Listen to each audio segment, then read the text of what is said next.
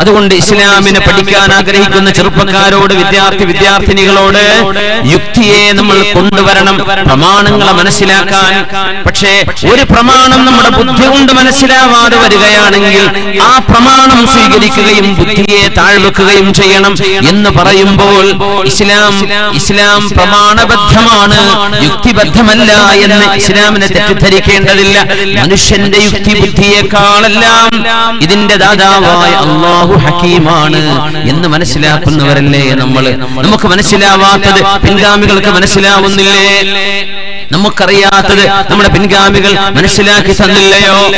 നമുക്ക് ഇനിയും അറിയാത്തത് ശുദ്ധ ഖുർആൻ തന്നെ പറയുന്നവരല്ലോ സുബ്ഹാനല്ലദീ ഖലഖൽ അസ്വാജ കുല്ലഹാ മിമ്മാ തുംബിതുൽ അർളു വമിൻ അൻഫുസിഹിം വമിമ്മാ ലാ യഅലമൂൻ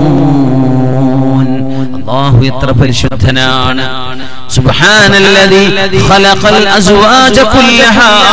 എല്ലാത്തിലും ഇണകളെ പടച്ചവനാണ്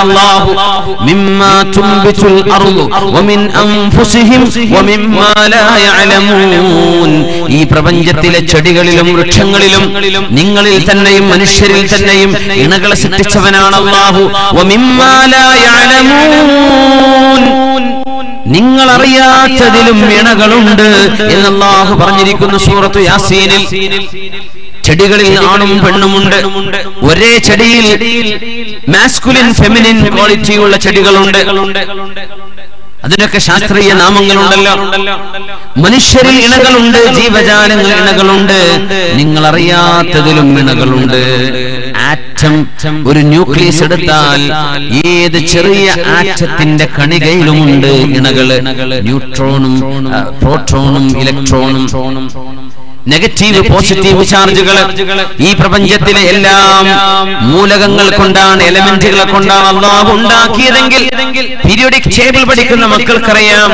അതിന്റെ ഏറ്റവും ചെറിയ ഘടകത്തെ നമ്മൾ ആറ്റം എന്ന് വിളിക്കുകയാണെങ്കിൽ അതിനകത്ത് പോസിറ്റീവ് നെഗറ്റീവ് ചാർജുകൾ ഉണ്ടല്ലോ രണ്ടും വിരുദ്ധ ചാർജുകളാണ് സാലിബ മുജബ എന്ന അറബിയിൽ പറയുന്ന നെഗറ്റീവ് പോസിറ്റീവ് ചാർജുകൾ വിശുദ്ധ ഖുർആൻ പറഞ്ഞു. നിങ്ങൾക്കറിയാത്തതിൽ ഇണകളുണ്ട് എന്ന് അള്ളാഹു പറഞ്ഞു പോയി. അപ്പൊ ഇരുപത്തൊന്നാം നൂറ്റാണ്ടുകാരൻ വിശുദ്ധ ഖുർആന് ലഭ്യമായ സയൻസിന്റെ അടിസ്ഥാനത്തിൽ അള്ളാഹുവിന്റെ വചനങ്ങളെ മനസ്സിലാക്കാൻ ശ്രമിക്കുമ്പോൾ ആറ്റത്തിൽ ഇണകളുണ്ടെന്ന് മനസ്സിലായി. പക്ഷേ അള്ളാഹു പറയുന്നു "വമിമ്മാ ലാ നിങ്ങൾ അറിയാത്തതിലും ഇണകളുണ്ട്. ആറ്റം നമ്മൾ അറിഞ്ഞു കഴിഞ്ഞതാണിപ്പോ ഈ അറിഞ്ഞവർക്ക് ഇനിയും അറിയാത്തത് കിടക്കുകയാണ്. അത് ആർക്ക് ബോധ്യമാകും? പിൻഗാമികൾക്ക്. അവരാ ബോധ്യമായ ഒരു പുതിയ ഒരു വിഷയത്തിൽ ഇണകളുണ്ട് എന്നവർക്ക് മനസ്സിലായാൽ പിന്നെയും ആയത്ത് അങ്ങനെ തന്നെയാണ്. അലമൂൻ അവർക്കറിയാത്തതിൽ ഇനിയും ഇണകളുണ്ട്. തലമുറ തലമുറകളായി പഠനം നടത്തിയാൽ അവസാനിക്കാത്ത വിജ്ഞാനത്തിന്റെ മഹാസാഗരമാണ് അള്ളാഹുവിന്റെ വചനമെന്ന് മനസ്സിലാക്കാൻ ഇതിലപ്പുറം എന്ത് വേണം? ആ ഇണകളുണ്ടെന്ന് പറഞ്ഞത് ആറ്റത്തിന്റെ കഥ മാത്രമല്ല. നമ്മൾ അറിഞ്ഞു കഴിഞ്ഞു. ഇനി അറിയാത്തതിൽ വേറെ കിടക്കുന്നുണ്ട്. അള്ളാഹുവിന്റെ വചനങ്ങളെ മനുഷ്യരുടെ വചനങ്ങളെ പോലെയാണോ നമ്മൾ കണക്കാക്കേണ്ടത്? എന്തെല്ലാം മഹാത്ഭുതങ്ങൾ ശുദ്ധമായ ഖുർആൻ മനുഷ്യന്റെ മുമ്പിലേക്ക് അള്ളാഹുവിനെ മനസ്സിലാക്കാനുള്ള വഴി തുറന്നു നൽകിയിരിക്കുകയാണ്. അള്ളാഹു ഇലാ ദാരിസ്സലാം അള്ളാഹു നിങ്ങളെ സമാധാനത്തിന്റെ വഴിയിലേക്ക് വിളിക്കുകയാണ്. ബുദ്ധിയുള്ള മനുഷ്യരോടാണ് ഖുർആൻ ചർച്ച ചെയ്യുന്നത്. അതുകൊണ്ടാണ് ഹബീബായ നബി തങ്ങൾക്ക് ആദ്യമായി ഇറങ്ങുന്ന വചനം ബിസ്മി റബ്ബിക്കല്ലദീ ഖലഖ. ഖലഖൽ ഇൻസാന മിൻ അലഖ്. ഇഖ്റഅ വറബ്ബുക്കൽ അക്റമുല്ലദീ അല്ലമ ബിൽ ഖലം. അല്ലമൽ ഇൻസാന മാ ലം യഅലം.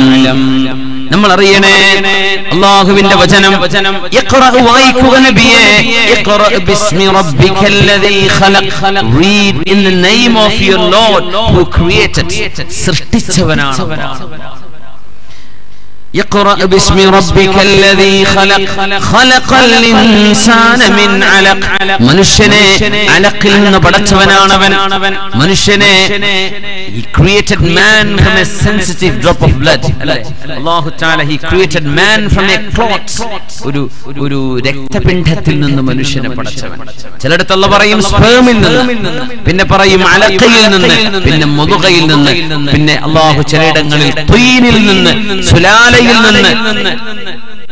എന്നൊക്കെ വിശുദ്ധ വചനങ്ങളിൽ മനുഷ്യ സൃഷ്ടിപ്പിന്റെ ഘട്ടങ്ങളിലേക്കുള്ള സൂചനകൾ കാണാൻ കഴിയും. എത്ര മനോഹരമാണ്. ഇതിന്റെ ഉള്ളിൽ കിടക്കുന്ന ഒരു ആശയം ഇത് യൂണിവേഴ്സിറ്റികളുടെ പരിസരമാണ്. ഒരുപാട് വിദ്യാർത്ഥി വിദ്യാർത്ഥിനികൾ ശാസ്ത്ര വിദ്യകൾ ശാസ്ത്രീയ പഠനങ്ങൾ നടത്തുന്ന ഒരു പ്രദേശമാണ് മാംഗ്ലൂർ. മംഗലൂരു ഒരുപാട് യൂണിവേഴ്സിറ്റികളുടെ വിളനിലമാണ്. വിദ്യാഭ്യാസ വിദ്യാഭ്യാസത്തിന്റെ വിവിധ അനന്തമായ സാധ്യതകൾ ലോ നമ്മുടെ ഭാരതത്തിൽ തന്നെ ഏറ്റവും കൂടുതൽ നമുക്ക് വിദ്യാർത്ഥികളെ കാണാൻ കഴിയുന്ന വളരെ സീരിയസ് ആയി പഠിക്കുന്ന വിദ്യാർത്ഥികൾ നമ്മുടെ മംഗളൂരു പരിസരങ്ങളിൽ ധാരാളമുണ്ട്. ഈ വിദ്യാർത്ഥികളുടെ മുമ്പിൽ ഞാൻ ഒരു ഒരൊറ്റ വിഷയം അവതരിപ്പിക്കുകയാണ്. ഈ ഇഖ്റഇന്റെ ഒരു മഹാത്ഭുതം നിങ്ങൾ വായിക്കണേ എന്ന് പറഞ്ഞിട്ട് അള്ളാഹുച്ചാല രണ്ട് വിഷയങ്ങളാണ് അവിടെ പറയുന്നത്.